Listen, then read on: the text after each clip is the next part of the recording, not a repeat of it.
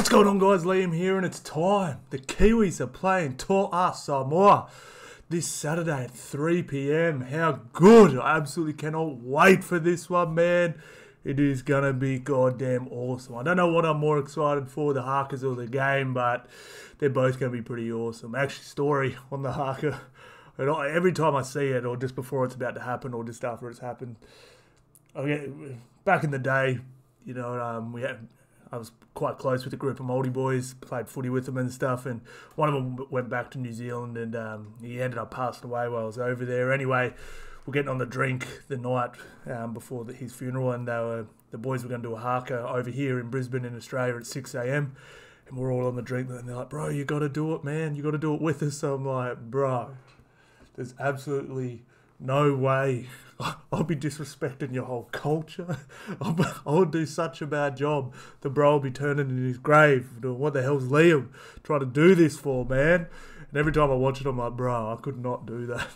I could not do that. Oh, it's too good. I absolutely love it, man. So, we'll go through the team list, guys. We'll go over who we think's going to win, how they're going to win, try scorers, overs, unders, all that good stuff, guys. Try and make this pretty quick for you. Um, but yeah, it's uh, pretty pretty damn exciting. Now, we'll go through the team list first. So I'm actually really excited for this one. We'll have a look at the Kiwi team first. CNZ. Um, Charnze Nicoll-Klokstad. I can't wait. I'm really glad they picked him at fullback over Joey Manu. At, at the international game, I'm a big fan of picking players that play their positions at club level. You know what I'm saying? Like, I don't like this playing players out of position. I mean, Joey Manu's a freak. He's one of my favourite players, and I get the theory, like get him more ball, get him more touches, do all this, do all that. But I don't know. I just, I just love like Nicoll-Klokstad has killed it all year in that position. Joey Manu killed it in centre. Just leave it, bro. So I would shout out to Michael Maguire for that call. I think it was really smart. Um, you can chop and change a little bit if you want, sort of thing, at some point. But you know, like I, I genuinely really like that. I, I don't get the whole. Uh, there's a big thing going around, especially in the NRL and rep teams, especially. Just get your best 13 on the park and find positions for them. I don't like it, man. I love specialty. I love people that this is their position and they they they practice it every damn week. They uh, in training, and they practice it on the field as well. Don't care how good you are, it's very hard to just step into a new position, especially at a very high level like this, and do that at a super high level. I know we've seen Joey Manu do it, but we've seen it, you know, it not work way more times than it does, sort of thing. So I, I love that huge call, but the right one, I believe. Mulitalo, Tomoko, Joey Manu, Isaako, Dylan Brown, Jer- Jahrome Hughes.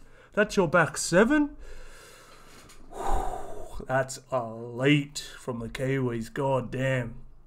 And then it uh, somehow gets better. Fisher Harris, Brown, Leota, Papali'i, Nikora, Tapine. Wow, that is ridiculous. Talk about a powerhouse, man. This is a crazy team. To be honest, the only way I see it better is if Jerry Marshall King drops into the nine here. Um, I think he's still got a shoulder issue from memory, but Jesus Christ, this is some strike here, man. There's a lot of power, a lot of craft. I mean, you got the two best defensive props in the game. They're going to be able to limit these guys' meters if they play half as good as they do at Penrith. You got Papali'i, great edge runner. Nikora, I've been saying he's the best edge uh, line running edge back rower in the game. And then Tapine, I actually don't mind him at lock. Um, let's try and find some negatives. Maybe lacking ball playing in the forwards. Uh, there's not much ball playing here at all. Um, that's about it. I mean, Tapine's well, he's a prop. You know, he's fit playing in the in the lock position. Um, he's got an offload, but no real ball playing. No Isaiah ball playing or anything like that. But so good, such a good team. And then their bench, they're going with Kieran Foran. Shout out to Kieran Foran too for making the team. I genuinely think he was one of the best buys of the year last year. He didn't get a shout in, but he absolutely unlocked Dave Fifita last year, or this year, sorry. And um, doing it on one leg on 350k a year, turned up week in, week out. Defense was awesome. Shout out to Kieran Foran, absolute freak, still doing his thing. And then um, Big Nelson, I always forget names of Kiwi, and Leo Thompson. So I guess on the bench, the only sort of thing you'd say maybe is there's no outside back to cover. You know, they've got a half to cover there, but um, Nikora is pretty solid. Um, Nikora could jump in the centres, absolutely no dramas. Um, and then, you know, like Joey Manu or Tomoko could jump on the wings as well, so you could just slide a player out, sort of thing like that. So, pretty well covered as well, man. So, this Kiwi team is a problem, an absolute problem. Really keen to see how Dill Bags goes as well.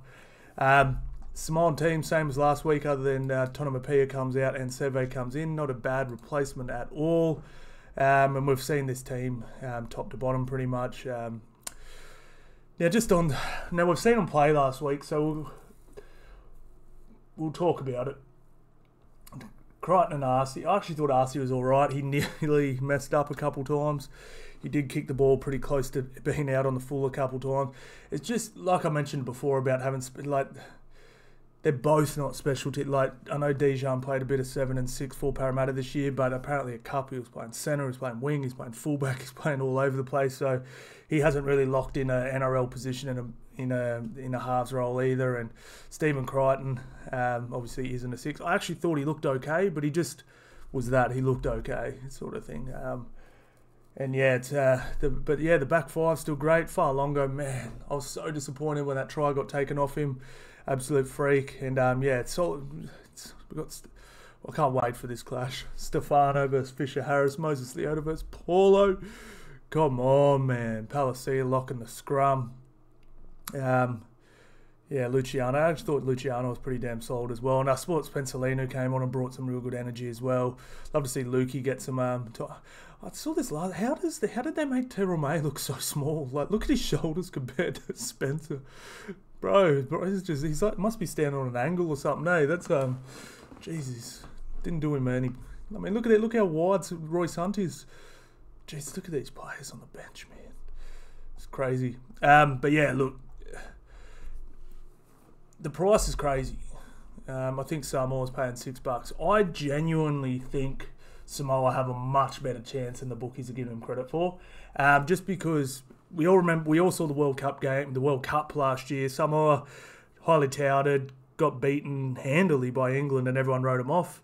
Next minute, they're in the finals with Australia. I genuinely think they need hitouts. Uh, none of these guys have played together a whole heap. I guess the advantage with Australia is, even though Australia doesn't play a whole heap of tests, well, they play essentially the same amount as all these guys. A lot of combinations are formed at Origin as well. Like these guys are all playing, the Australian teams, they're all playing rep footy together since they're 15. You know what I mean? Whether it's, so there's combinations all over the park, even though the team isn't fully gelled. You know, you've got your, I know Cleary didn't play this time, your, your Isaiah Yeo and your Cleary. You got, you know what I'm saying? You got all these, you got the, all these um, sort of, little combinations across the park, whereas Samoa, like they genuinely, and the Kiwis, they genuinely only get together once or twice a year if they're lucky, sort of thing. So, um, and as adults as well, like you know, I don't think there's any sort of I might be wrong, but it, no junior. Well, I'm sure there'll be some junior stuff, but definitely not as much as New South Wales as Queensland. Their pathway systems are crazy, so. Um, I'm expecting Samoa to be better than they were against Australia. I really am, and I, I actually really like the price. Uh, what were they paying?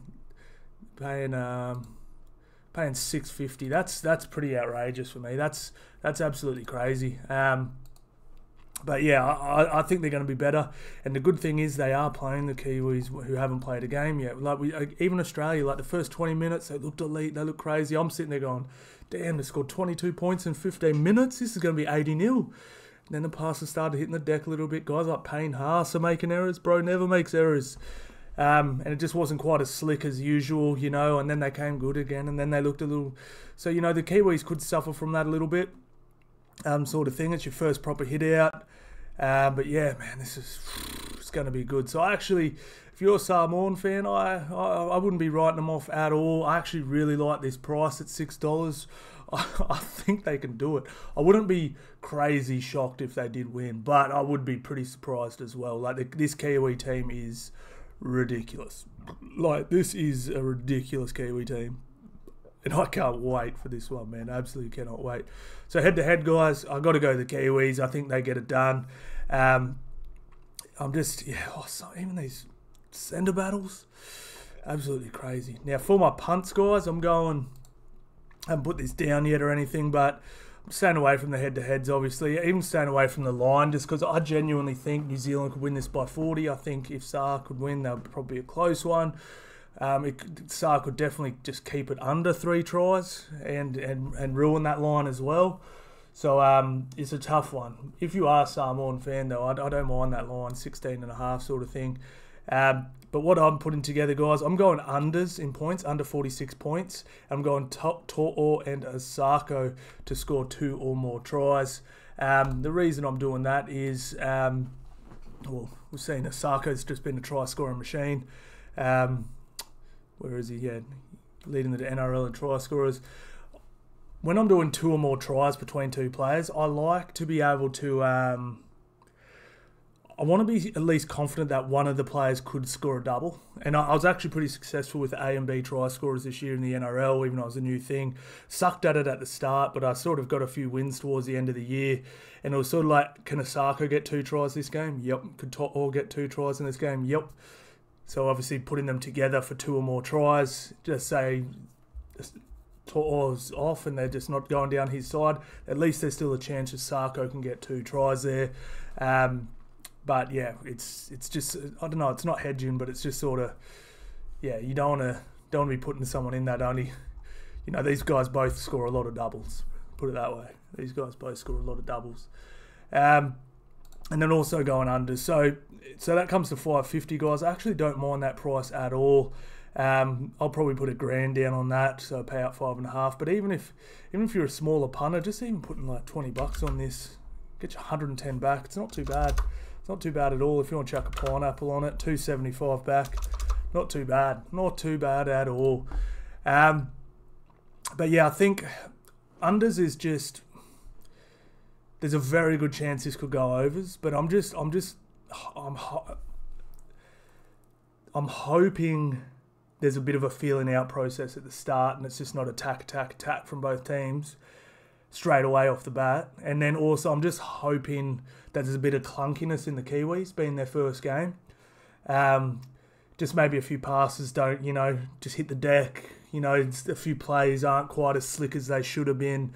You know, um, I'm just that. That's sort of why I've gone unders there. It's it's not so much that I think it's going to be a super slow, uh, low scoring game. There's strike all across the park in both these teams. It's just, I'm all banking on just a little bit of clunkiness from the Kiwis. Um, Samoa's attack didn't look super potent.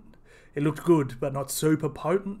So I think 46 is pretty comfortable. Um, like it's, it, yeah, I think we could be all right there. It, I think we could be all right. I think we should be okay there. Um, but yeah, it's it's it's a tough one. Overs and unders is, yeah, it's crazy. But yeah, we got the overs in the Aussie game. I definitely thought that was going overs, and um, yeah, like we said, that sometimes as well with in international games, sometimes a few tries do flow early, and you're like, uh oh, this is going overs. But then you know, like when the game gets a little, because the game means so much. But when the game gets down a little bit of crunch time, 20 minutes to go, you know, like we even saw it a bit with the Kiwi, uh, with the Aussie um, Samoa game. Both teams, you know, defense tightens up a little bit. The, the the offensive team doesn't quite attack from you know crazy spots like they were a little bit earlier in the game. That it's more kicking for position, you know, stuff like that. So even if this does get out to a little early start, I'm pretty confident at some point in time that either the team ahead, whatever team's leading, might go for the throat, more just play to play for field position, you know, kick to corners, do all the boring stuff. And let's hope that goddamn happens. Let's hope. Right, I think that's it, lads. We'll have a quick look. There was a few stats here I wanted to have a quick look at as well. Um, yeah, that was a crazy game for Fa'alogo. 176 running beaters, a line break, and 11 tackle breaks. Damn, that was crazy. Uh, Kiwis have, have four, uh, four, a 4 0 record against Samoa with a combined scoreline of 144 to 50. Wow, I didn't know that. Jamayne Isaako topped the NRL try scorers, we know that. And uh, that's a stupid start. So who cares? But yeah, man, it's um, I'm excited for this one, and then the Aussies versus the Kiwis next week. Where is that game? Let's try and find out quickly. Where's the Aussies playing the Kiwis? Um, week three, Aussies Kiwis. Where is it? AAMI Park in Melbourne. Come on, man. Why can't we play in Brizzy? I want to get to that. Damn, that's uh, that sucks. Aussies played in Townsville where about 4,000 people showed up now. They're playing in Melbourne where, oh, they'll get an okay crowd in Melbourne, but it won't be nuts. It won't be nuts, man. That's, uh, that sucks. That absolutely sucks. Anyway, that's it, guys. Nice and short. We've only got one game. Um, we will go live before this one on TikTok, guys. We'll watch a haka together and, um, yeah, get into it. Hopefully hit some punts. It's, it's been, I'm not going to lie, man as much as I love punting and talking talking trash about footy, it's been nice not having to live it like eight games a week. You know, it's it's pretty cool just having the one a week, man. It's good, good fun. But anyways, thank you all so much for watching, guys, and I'll see you on the next one.